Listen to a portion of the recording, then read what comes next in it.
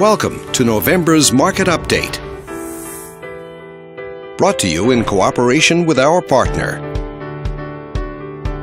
Let's take a look at residential real estate activity in your area during the month of October. The number of active listings was down 1% from one year earlier and down 5% from the previous month. This smaller inventory means that buyers who waited to buy may have had a smaller selection to choose from. As you can see, the median listing price for the month was just under $390,000. Compared to last year, the average number of days that units spent on the market before being sold was up 15%. This higher number of days may signal a slowdown in the local inventory turnover rate.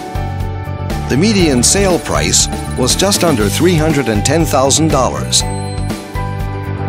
The number of units sold decreased 6% year over year and decreased 7% month over month.